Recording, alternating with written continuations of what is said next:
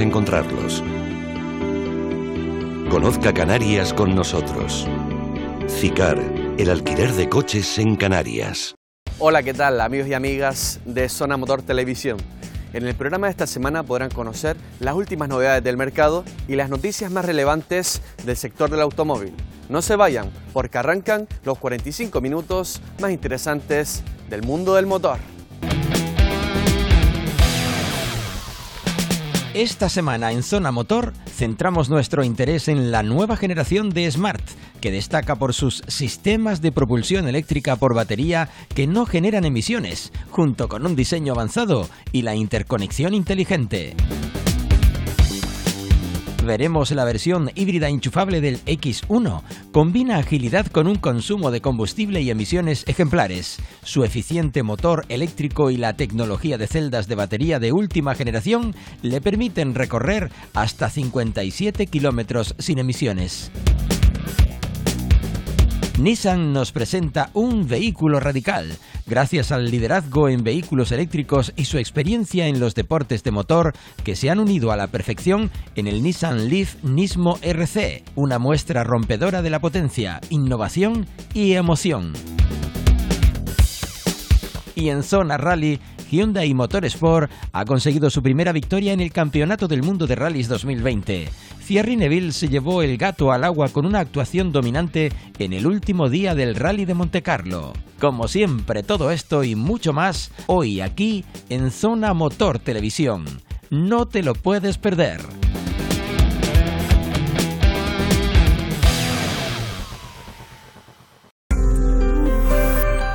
Nuevo GLC, carácter inconformista.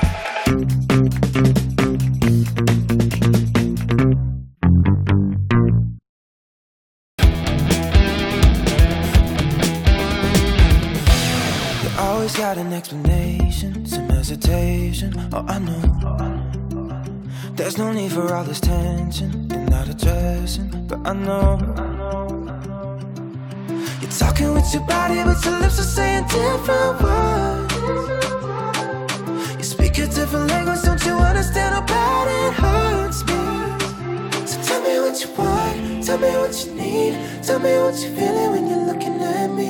Valencia ha sido el lugar elegido por Smart para presentar su renovada gama de modelos eléctricos. De hecho, este tipo de vehículos es el único que comercializará la marca alemana, ya que ha decidido apostar de lleno por esta tecnología y abandonar los motores de combustión. Si miramos al pasado de esta peculiar marca, encontramos una clara convicción por la propulsión eléctrica en sus orígenes.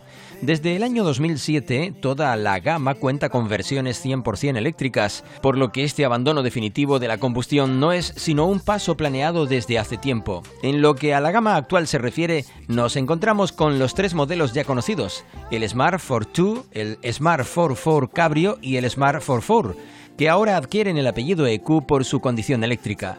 Los tres coches se ensamblan en Francia y comparten muchos elementos, especialmente en el caso del 44 con el Renault Twingo. Los tres modelos compartirán un mismo esquema mecánico compuesto por un motor de 61 kilovatios y 160 Newton de par, que permite aceleraciones de 0 a 60 km hora en 4,8 segundos. Una cifra muy positiva para desplazarse con agilidad en entornos urbanos. También será común la batería de 17,6 kWh que promete una autonomía según el ciclo de homologación WLTP de 133 km. Puede parecer una cifra modesta, pero Smart asegura que el recorrido diario de sus clientes actuales no supera de media los 35 kilómetros, por lo que esta autonomía debería ser suficiente para trayectos urbanos durante varios días. Otra ventaja de una batería pequeña es sin duda el tiempo de carga, ya que si optamos por un punto de carga rápido de 22 kilovatios, lo que requiere un cable de carga opcional, podremos obtener un nivel del 80% en menos de 40 minutos. Si optamos por una toma doméstica convencional, la espera se eleva hasta las 6 horas. En términos de diseño, los cambios son menores. Por primera vez, el Ford 2 y el Ford 4 cuentan con frontales distintos. En ambos modelos ahora la calandra se pinta en el mismo color de la carrocería. Parece pasar a un segundo plano ahora que no contamos con un motor térmico que refrigerar. Las ópticas traseras pueden contar opcionalmente con un nuevo diseño de cuatro volúmenes compuestos por luces LED y el logotipo del capó se ha sustituido por el nombre de la marca como ya ocurría en modelos anteriores. De nuevo y como se espera en los modelos con cierto carácter premium, como los de la gama de Smart, Contamos con una larga lista de pinturas, llantas y elementos decorativos que permiten dar personalidad al coche. La propia versión Cabrio, con una capota de lona eléctrica, demuestra el toque de exclusividad que pretende alcanzar la marca. En el interior todo se mantiene igual. Contamos con un reloj adicional para el nivel de carga y la demanda de energía o recuperación del sistema eléctrico, aunque este elemento ya estaba presente en anteriores versiones. El cambio más destacado dentro del habitáculo se encuentra en el sistema de infoentretenimiento, ya que mantiene la pantalla táctil pero actualiza su sistema operativo a partir del segundo cuatrimestre de 2020. La nueva opción contará con compatibilidad con Android Auto y Apple CarPlay. Debido a su carácter urbano, los nuevos modelos EQ de Smart cuentan con conectividad a través de una aplicación compatible con Apple Watch que permite al usuario encontrar parkings o activar la preclimatización del vehículo antes de empezar el viaje. Los precios de partida para los nuevos modelos de Smart son 24.450 euros para el Smart EQ42, 27.465 euros para el Smart EW42 Cabrio y 25.150 euros para el Smart EQ44.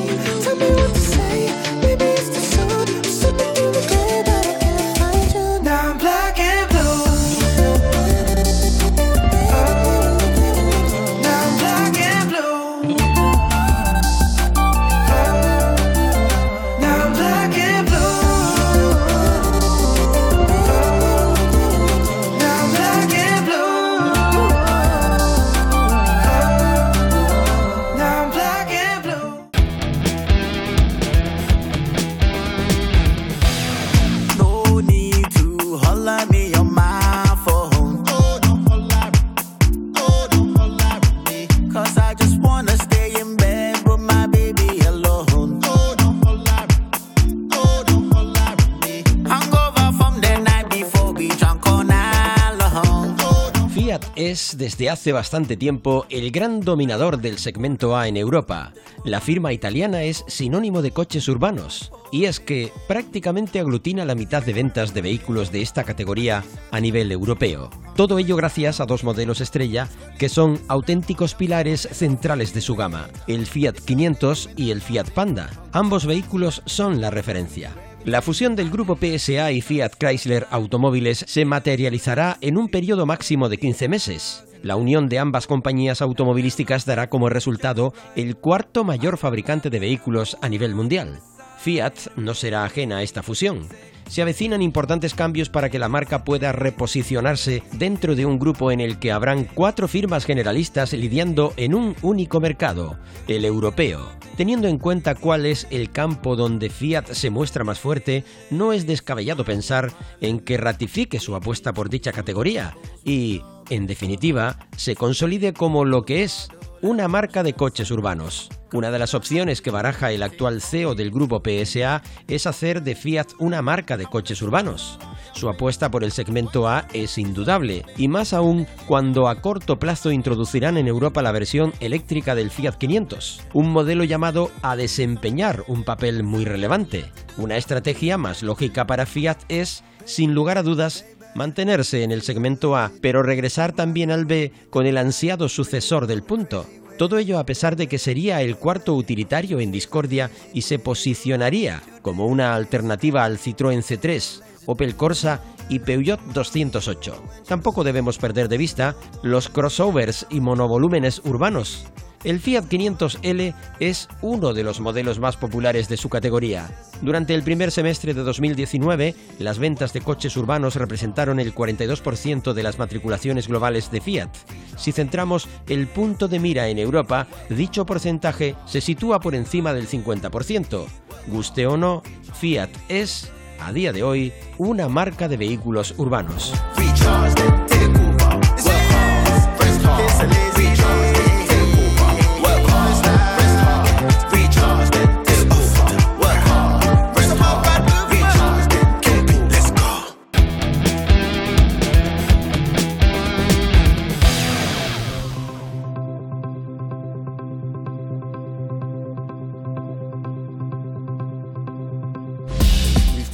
All our efforts into ensuring the success of a model that has already made history here at SEAT.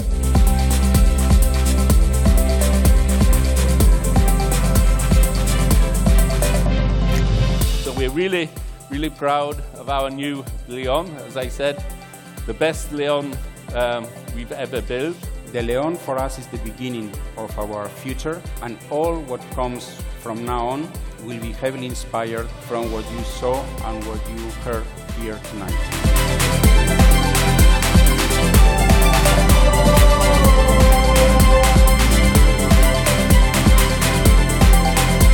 I think everybody will find the right engine which fits its lifestyle.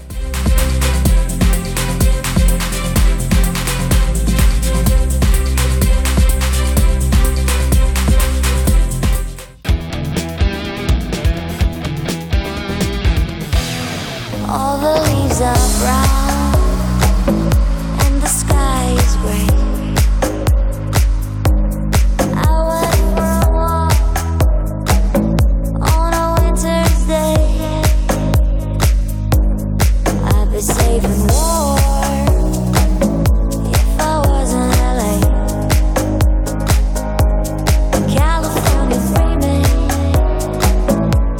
Tres meses después de la llegada del Clio, Canarias acogió el lanzamiento de otro de los pesos pesados dentro de la estrategia de producto de Renault. Les hablamos de la nueva generación del Captur, un modelo que vio la luz por primera vez en 2013 y que hasta 2019 ha acumulado unas ventas totales en España de 110.000 unidades, convirtiéndose en el vehículo más vendido del segmento B-SUV de este periodo. El lugar escogido en esta ocasión para su presentación fue el Hotel Iberostar Grand Mencey, en Santa Cruz de Tenerife, con presencia una vez más de una numerosa delegación nacional encabezada por Jesús Presa, director de comunicación de Renault España, así como de representantes de todos los concesionarios y agentes de las islas. Este nuevo Captur tiene dos cosas que hereda del anterior. Un poco esa línea entre comillas exterior, pero sobre todo la parte de bitono interior. Y luego la segunda razón de compra también es evidentemente el diseño interior.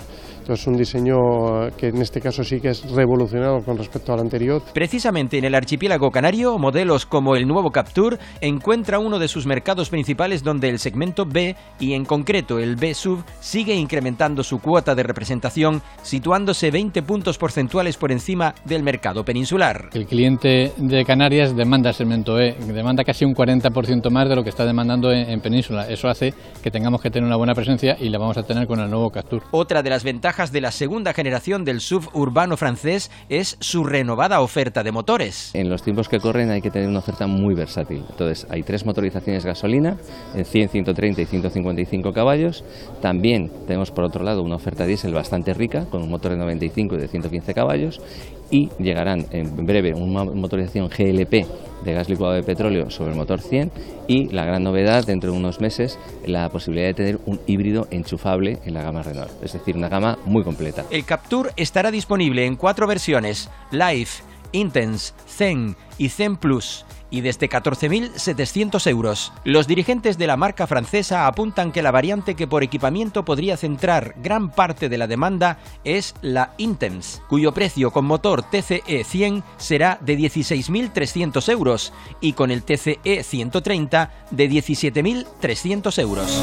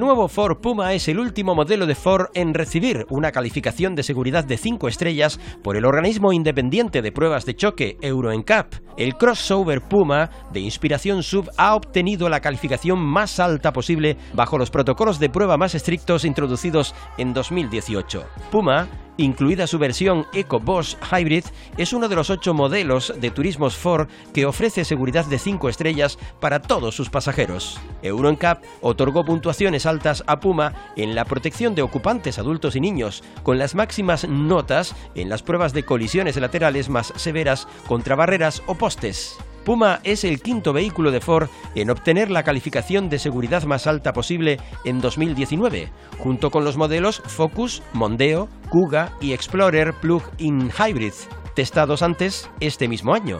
El nuevo Ford Puma presenta la avanzada tecnología de propulsión con ahorro de combustible Mile Hybrid de Ford, junto con la experiencia de conducción líder de su clase y diseño llamativo para clientes de crossovers compactos. Su rendimiento potente y la eficiencia de combustible optimizada se entregan utilizando la tecnología EcoBoost Hybrid de 48 voltios de Ford, que integra perfectamente la asistencia de su ingeniería eléctrica con un motor de gasolina EcoBoost de 1.0 litros y 3 cilindros de baja fricción, para entregar hasta 155 caballos.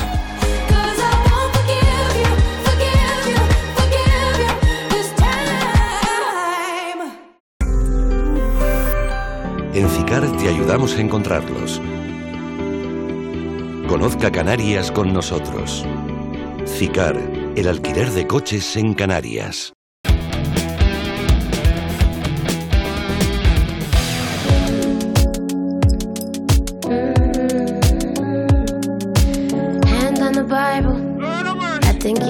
Love of my life.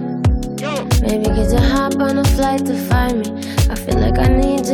Volvo Cars ya ha abierto oficialmente en algunos mercados el sistema para pedidos del XC40 Recharge P8 AWD, su primer vehículo totalmente eléctrico basado en el sub más vendido de la marca. Decenas de miles de clientes han mostrado un gran interés por el XC40 eléctrico y la compañía ha recibido varios miles de pedidos incluso antes del inicio oficial de las ventas. La producción y las primeras entregas a clientes del XC40 Recharge P8 están programadas para finales de este año 2020. La entrada inicial de pedidos es una prueba más de la fuerte demanda de vehículos Recharge de Volvo Cars, la denominación elegida por la firma para todos sus modelos eléctricos e híbridos enchufables. El objetivo de la empresa es que para 2025 el 50% de las ventas globales corresponda a vehículos totalmente eléctricos y el resto a híbridos. En 2019, Volvo Cars vendió casi 46.000 híbridos enchufables, un 23% más que en 2018 y más del doble que en 2017.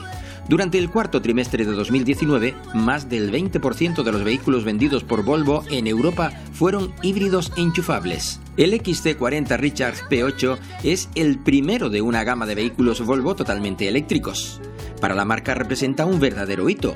Es su primer vehículo eléctrico y también el primero que irá equipado con un sistema de infoentretenimiento absolutamente nuevo basado en el sistema operativo Android de Google. Como versión totalmente eléctrica, el exitoso Sub XC40, el primer Volvo galardonado con el prestigioso premio Coche del Año en Europa. El XC40 Recharge P8 está basado en la arquitectura modular compacta, CMA, una avanzada plataforma para vehículos desarrollada conjuntamente con Geely Group. El XC40 Recharge P8, con tracción a las cuatro ruedas, ofrece una autonomía de más de 400 kilómetros con una sola carga y una potencia de 408 caballos. La batería se carga al 80% de su capacidad en 40 minutos mediante un sistema de carga rápida.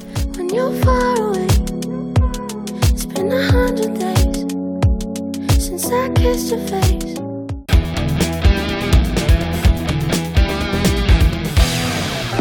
I can feel ice in your veins. Knew that you're not a mistake. It's just a game that we play. Push and pull out of my way. So come close to me, don't waste no time, just put it all on me. Don't fall asleep, I just need somebody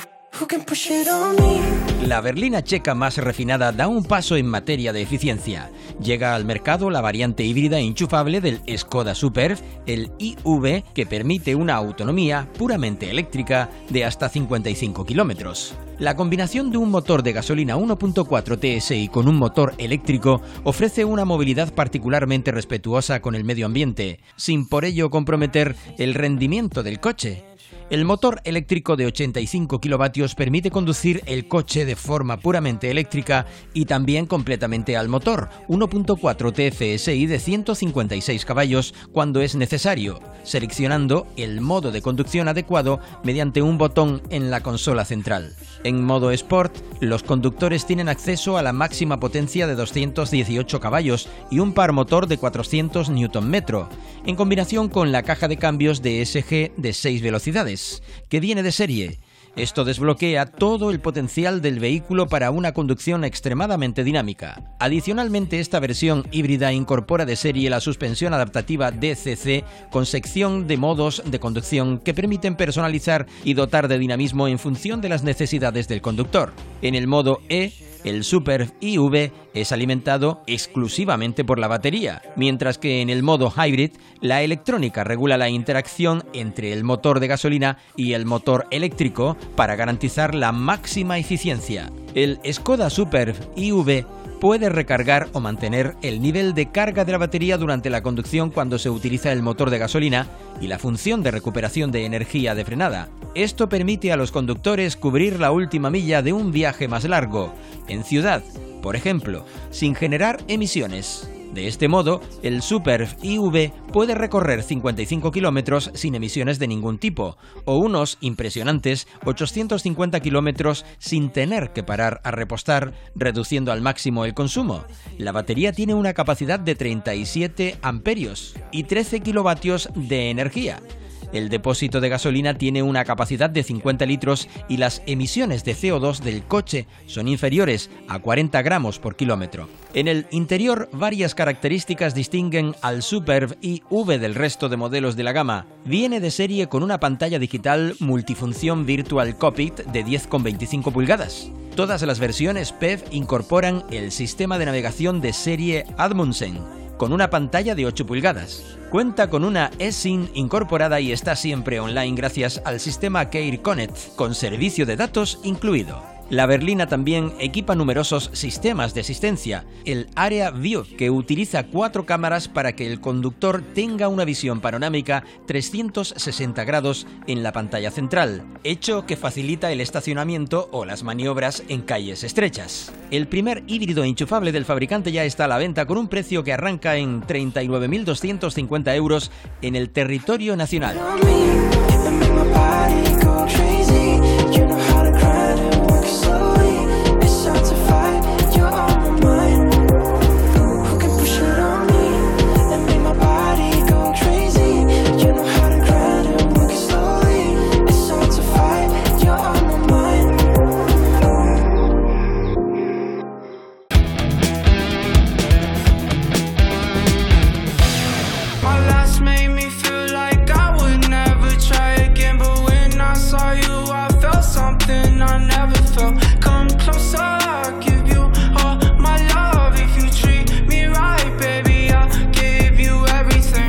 BMW presenta la nueva variante híbrida enchufable del X1. Equipado con un motor de gasolina de 3 cilindros y una unidad eléctrica, el SUV alemán produce 220 caballos y arroja una autonomía en modo cero emisiones de hasta 50 kilómetros. El sistema híbrido enchufable del nuevo BMW X1 X-Drive 25e consta de un motor de gasolina de 3 cilindros y 1.5 litros turbo, más un motor eléctrico específicamente desarrollado de la tecnología modular eDrive de BMW. El motor de gasolina tiene una potencia de 125 caballos y un par motor máximo de 220 Nm. Este propulsor transfiere su potencia a las ruedas delanteras a través de una transmisión automática State-Tronic de 6 velocidades, mientras que el motor eléctrico con una potencia de 95 caballos y un par motor de 165 Nm transmite su fuerza a las ruedas traseras por medio de una transmisión de una sola velocidad. El resultado es una tracción total híbrida específica, que dota al BMW X1 X-Drive 25e de una respuesta tan contundente como ágil. La rápida entrega de potencia del motor eléctrico, que entrega su par máximo de forma instantánea desde parado, permite al conductor reaccionar con suma agilidad a las condiciones de conducción cambiantes. Además, la ubicación del motor eléctrico sobre el eje trasero contribuye a la equilibrada distribución de pesos del nuevo BMW X1 X-Drive 25e. Esto, en conjunto con el sistema de interacción inteligente entre los dos motores, proporciona la máxima estabilidad y confort de conducción y una respuesta dinámica. Este valor es tan bueno porque este X1 X-Drive 25e también equipa un sistema de baterías de iones de litio recargables con una capacidad energética de 9,7 kWh que permite ofrecer una autonomía eléctrica de hasta 57 kilómetros WLTP, por lo que en España este vehículo tiene la etiqueta ambiental cero emisiones de la DGT. La batería de alta tensión puede cargarse al 100% en un enchufe doméstico en unas 5 horas, pero si se utiliza un cargador BMW y Wallbox, el tiempo de carga se reduce a menos de 3,6 horas. El conductor puede variar el funcionamiento del sistema de propulsión a través del botón eDrive de la consola central, con el modo Auto eDrive, Max eDrive y Safe Battery. Paralelamente a estos modos de funcionamiento híbridos o eléctricos, el X1 X-Drive 25e sigue ofreciendo el clásico bastidor adaptativo con los modos Comfort, Sport y Eco Pro para variar las funciones de conducción y suspensión, además de controlar los sistemas de confort eléctricos. En cuanto a concepto, calidad y equipamiento, este X1 X-Drive 25e es idéntico a cualquier otro X1, salvo a nivel de habitabilidad, pues el posicionamiento de la batería de alta tensión bajo los asientos traseros se traduce en una capacidad de transporte ligeramente reducida. Este modelo ofrece 450 litros de volumen del maletero, que puede ampliarse hasta 1470 litros abatiendo los asientos traseros con una división estándar de 40-20-40.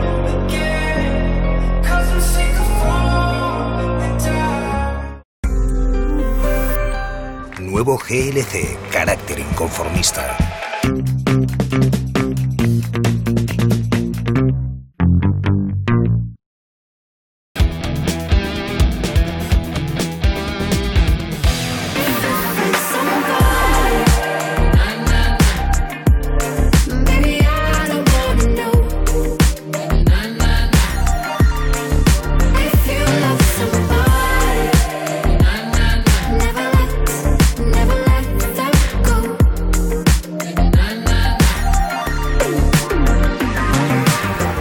Incorporación del nuevo Mercedes AMG GLE 53 Formatic Plus a la gama ofrecida en el mercado español, son ya 41 los modelos que cuentan con alguno de los sistemas de electrificación EQ, 32 modelos con sistema de hibridación suave EQ Bosch, 8 híbridos enchufables con tecnología EQ Power y un modelo 100% eléctrico EQ. A partir de 2022, Mercedes-Benz contará en toda su gama electrificada con alguna de estas tres tecnologías que permiten a estos modelos disponer hoy de la etiqueta medioambiental de la DGT Eco para los modelos con EQ Bosch y cero para aquellos equipados con EQ Power o EQ 100% eléctricos. Según Mercedes-Benz, la movilidad eléctrica se convertirá en el core business para la compañía. Para ello, está haciendo fuertes inversiones que superan los 31 millones de euros en la electrificación del automóvil. Para el año 2022, toda la gama de productos de Mercedes-Benz Cars estará lista para ser electrificada. Esto significa que habrá diferentes alternativas disponibles en cada segmento, desde el sistema eléctrico de 48 voltios, EQ Bosch, los híbridos enchufables EQ Power y más de 10 vehículos totalmente eléctricos EQ, alimentados por baterías o pila de combustible. Mercedes-Benz cuenta en la actualidad con 32 modelos con distintivo Eco por la DGT. Estos modelos cuentan con un motor eléctrico que hace las veces de alternador y motor de arranque al mismo tiempo. Este elemento asiste al motor de combustión interna en las aceleraciones, proporcionándole potencia y par adicionales, función EQ Bosch. De modo inverso, al frenar o en el régimen de retención, se recarga la batería con la energía liberada para reducir el consumo y la emisión de CO2. Este sistema permite realizar funciones híbridas como silent start, es decir, un arranque casi imperceptible del motor. Al aproximarse a un semáforo reduciendo hasta la parada o al planear, marcha por inercia, se puede desconectar por completo el motor. Mercedes-Benz también está desarrollando sistemáticamente sus híbridos enchufables bajo la tecnología EQ-Power, aplicada sobre modelos gasolina y diésel y que permite recorrer al menos 50 kilómetros en modo eléctrico según NEDC. En la actualidad son ocho los modelos ofrecidos por Mercedes-Benz que cuentan con esta tecnología, entre los que destaca el C300DE, disponible tanto en berlina como State, y que combina por primera vez en la clase C la técnica híbrida con un motor diésel de última generación. A finales de 2020, Mercedes-Benz contará con 20 vehículos híbridos enchufables en su gama, conformando una atractiva oferta desde modelos compactos hasta el clase S, pasando por los sub. Entre ellos destacan los primeros miembros de la familia EQ-Power de las clases A y la clase B, que llegarán a principios de 2020 al mercado español. EQ-Power Plus es el nombre de la tecnología híbrida de alto rendimiento que Mercedes AMG ya emplea de forma exitosa en la Fórmula 1 a día de hoy y que llegará a la carretera en 2020. La ofensiva de vehículos 100% eléctricos de Mercedes-Benz ha empezado este año con el lanzamiento del nuevo Mercedes-Benz EQC. El Mercedes de los eléctricos cuenta con todos los atributos de la marca, una autonomía de 445 kilómetros, un alto nivel de confort acústico y una excitante dinámica de conducción gracias a sus dos motores que entregan 408 caballos de potencia mediante la tracción integral Formatic totalmente variable. La marca contará con 10 modelos EQ totalmente eléctricos en 2022.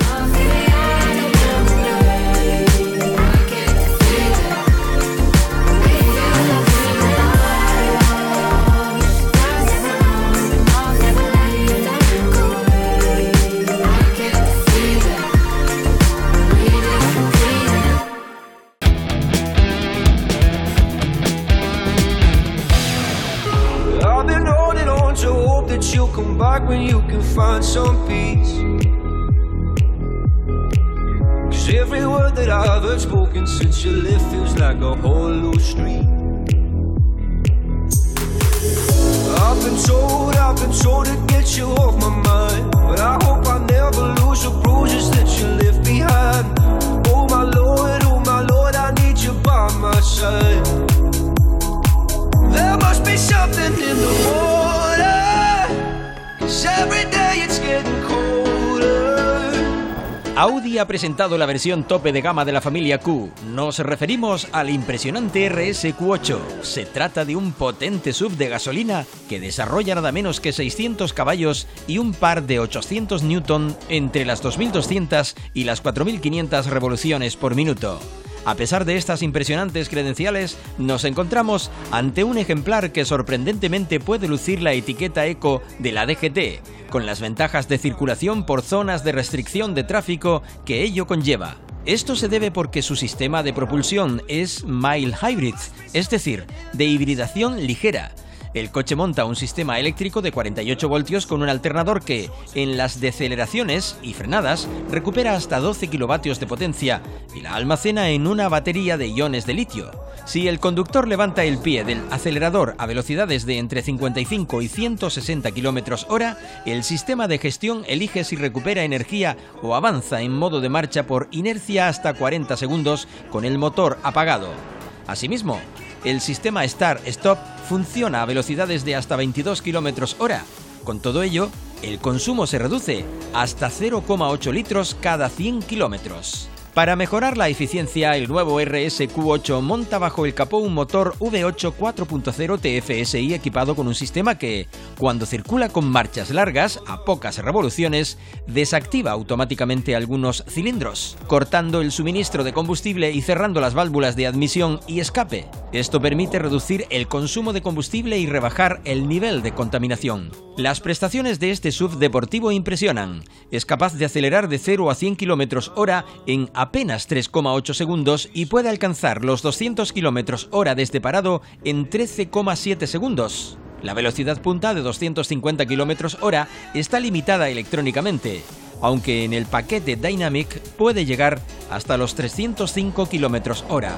La potencia del motor se transmite al sistema de tracción integral permanente 4 mediante una caja Tiptronic de 8 velocidades, que es de serie. También viene de fábrica la suspensión neumática adaptativa con control de amortiguación, que permite modificar la altura libre al suelo en 9 centímetros, lo que optimiza el comportamiento del coche tanto en recorridos asfaltados como en los off-road. La dirección a las cuatro ruedas, que forma parte del equipamiento de serie, permite que el eje trasero pueda girar hasta 5 grados en sentido opuesto al delantero cuando se circula a baja velocidad. A velocidad elevada, en cambio, gira en el mismo sentido que las ruedas delanteras hasta un máximo de 1,5 grados. El interior apenas cambia comparado con el resto de vehículos de la gama Q8. Detalles como el techo en alcántara o los asientos deportivos de cuero con función de masaje y ventilación son específicos para este coche.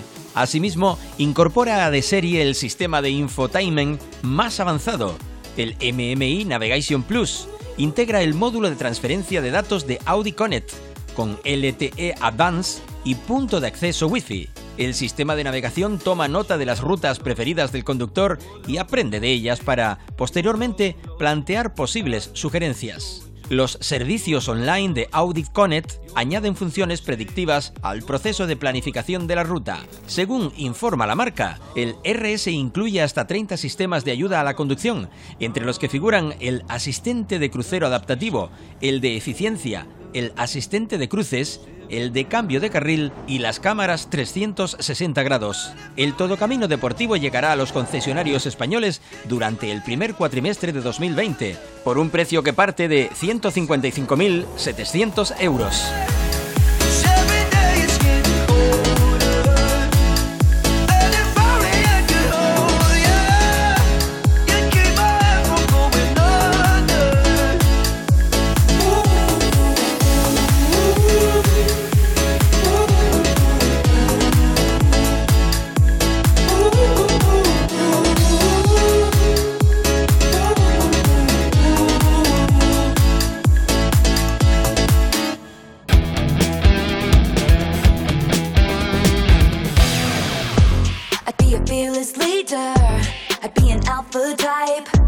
when everyone believes ya?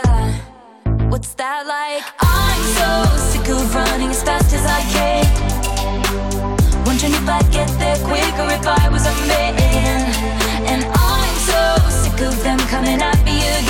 El Chevrolet Corvette Stingray convertible 2020 es un coche deportivo y la variante descapotable de la octava generación del mito americano. Se trata del primer Corvette descapotable de techo duro en la historia de la marca estadounidense, así como una clara alusión a la historia del modelo, que nació en 1953 como un convertible. El techo puede desplegarse y retraerse con el coche en movimiento hasta 50 km hora. La operación tarda 16 segundos y está asistida por 6 motores eléctricos en vez de sistemas hidráulicos para más fiabilidad. A nivel estético solo vamos a encontrar cambios con la variante cerrada en los pilares traseros y el capó que pierde la gran ventana transparente sobre la mecánica y en su lugar cuenta con una pequeña luneta trasera vertical entre los contrafuertes laterales. Una vez abierto, nos encontramos con los dos contrafuertes a modo de arcos antivuelco, aunque la zona central y superior se quedan totalmente despejadas. El Deportivo Cabrio equipa el mismo motor atmosférico V8 LT2 de 6.2 litros que el Stingray Coupé, combinado con los escapes de alto rendimiento, entrega 495 caballos de potencia con un par motor de 637 Nm. Toda esta potencia se traslada al eje trasero a través de la primera transmisión automática de doble embrague y 8 velocidades de Corvette que sustituye a la caja de cambios Tremec del Stingray convencional. Los ingenieros modificaron el chasis del convertible, incluyendo resortes y amortiguadores reglados específicamente para proporcionar un rendimiento similar al coupé. En cuanto al precio, se espera que esté en unos 7.500 dólares por encima de la versión coupé, algo que lo sitúa en unos 67.495 dólares cuando llegue a los concesionarios estadounidenses durante el año 2020.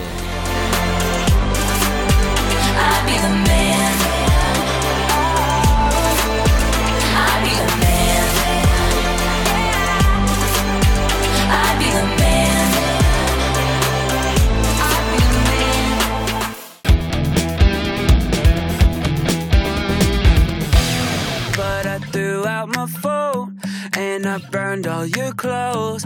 And now I'm not alone. It's just me and your. I got four red bottoms up in flames at my place now. I three dresses, three words we don't say now. And it's hard not to drink when it's the one thing I think about. El liderazgo de Nissan en vehículos eléctricos y su experiencia en los deportes de motor se han unido a la perfección en el Nissan Leaf Nismo RC, una muestra rompedora de la potencia, innovación y emoción generada por los vehículos eléctricos de Nissan.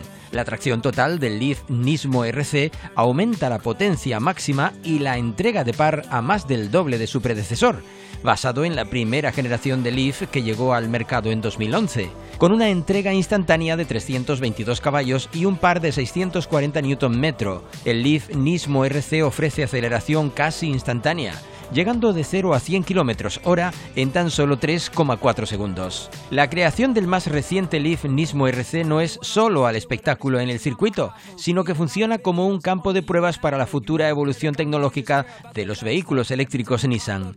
El nuevo Leaf Nismo RC nos muestra lo que se puede conseguir con un doble motor 100% eléctrico y tracción total, que pone de manifiesto la dedicación de Nissan a evolucionar y mejorar continuamente sus modelos eléctricos para el disfrute de los usuarios de todo el mundo. El Leaf Nismo RC toca tierra en Europa por primera vez en el circuito Ricardo Tormo de Valencia. Este modelo de competición único comparte su tecnología avanzada con el actual Nissan Leaf tanto en su versión de 40 kilovatios como en el modelo Leaf E Plus de 62 caballos. Un dato que también ha querido destacar Marc Gené, piloto de Fórmula 1 y embajador de Nissan Iberia, al comparar la versión Nismo RC de competición con el Leaf E Plus. El Nissan Leaf es el vehículo eléctrico pionero y más popular en el mundo que creó el segmento actual de los modelos de cero emisiones y que cuenta con más de 450.000 unidades vendidas a nivel global desde su lanzamiento en 2010. Por su parte, Marc Gené ha declarado que las prestaciones del Leaf Nismo RC son propias de un coche de competición del más alto nivel. El empuje generado por la entrega inmediata de par de los motores eléctricos combinado con la gestión inteligente de la tracción e-Force y el bajo centro de gravedad hacen de él una máquina definitiva en la pista.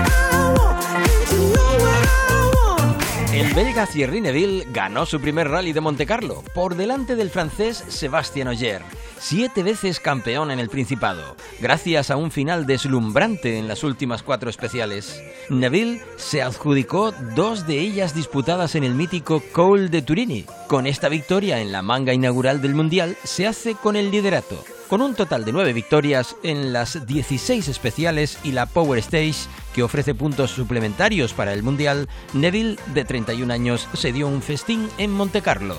Es su decimotercera victoria en el Mundial, en el que ha finalizado segundo de la general en las cuatro últimas especiales. Oyer, que buscaba su octavo título en Montecarlo, séptimo consecutivo, debutaba con Toyota y no pudo empezar con un triunfo. Tampoco pudo brillar otra leyenda francesa, Sebastián Loeb, nueve veces campeón del Mundial, que a los 45 años solo pudo finalizar sexto en una de las pruebas que cubrirá esta temporada con Hyundai.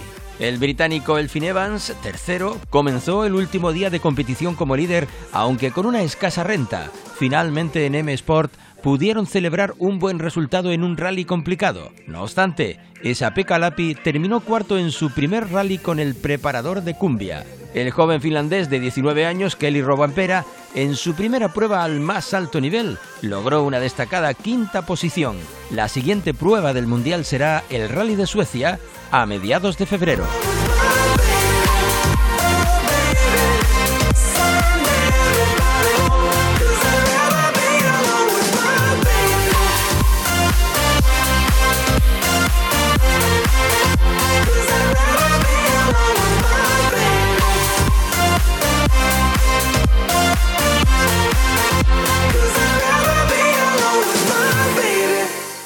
Esto ha sido todo por hoy. La próxima semana volveremos con toda la actualidad del mundo del motor.